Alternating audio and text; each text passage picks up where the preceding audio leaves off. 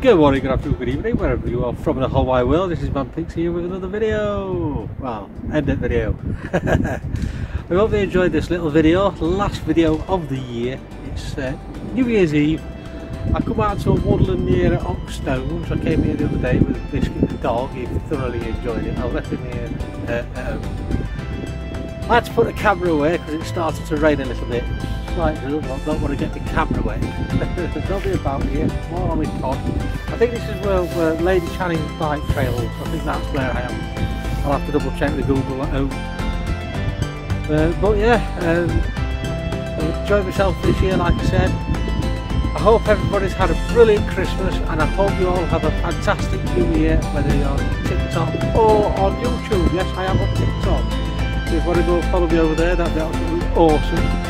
And if you're not already subscribed to me here on YouTube, please do so. There'll be plenty more drone videos coming through next year and also photography videos as well.